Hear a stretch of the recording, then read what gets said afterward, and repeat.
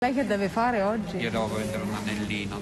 Deve vendere un anellino. E prenderò 40 euro, non lo so.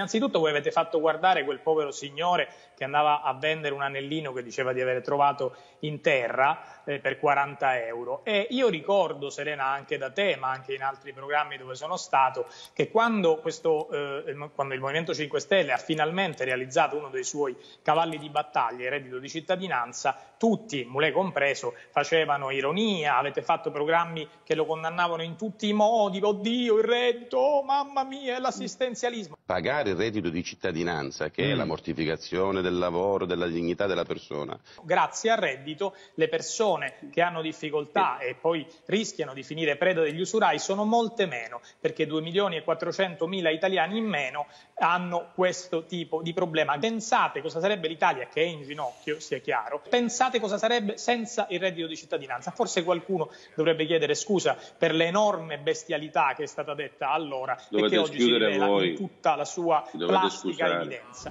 Sono terrorizzato, guardate, il paese deve essere terrorizzato da gente come Giarrusso che come vedete ah, non ha nessun tipo di senso personale. dello Stato, per cui continua a buttare, no non è personale, siccome mi ha dato del maleducato eccetera, dico io sono terrorizzato che questo paese sia nelle mani di chi piuttosto che pensare al bene del paese, pensa a una polemica che è veramente totalmente inutile. Quindi soldi del MES sì, se non Senta, hanno Mule, alcuna lei poco fa perché servono soltanto per le infrastrutture e per le imbarazzanti. Quindi abbia pazienza, faccia parlare anche gli altri, non parli sopra arrivo, ci arrivo, abbia facciamo... rispetto Vabbè. per chi sta lavorando per questo paese. Quando qualcuno dice che è preoccupato perché ci sono io, ha tutto il diritto di essere preoccupato perché ci sono io. Io sono molto preoccupato che esista ancora un partito dove c'è ancora un leader, questo partito è stato fondato da Marcello Dell'Utili che è stato condannato per mafia. A me ecco, questo ecco, preoccupa, che ancora in Italia là. abbiamo dato cittadinanza eccolo a un partito politico fondato da un condannato per mafia che e ancora c'è qualcuno Dai, che, lo,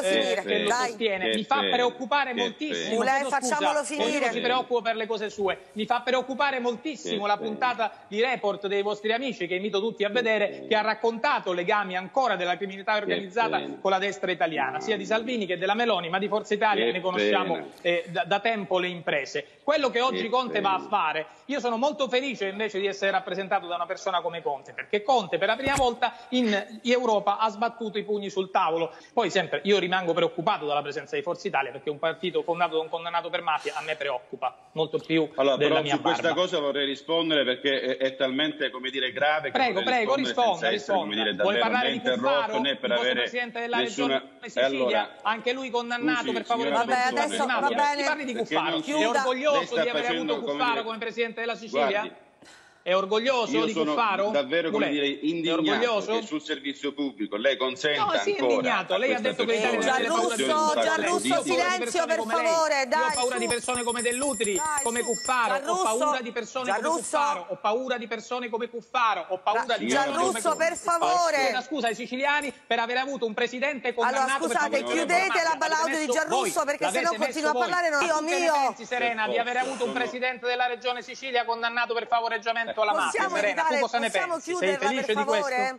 Possiamo chiudere Non è un ricordo favore? del passato, è un fatto. Allora, possiamo un fatto chiudere. Allora, chiudiamo. Sì, sì.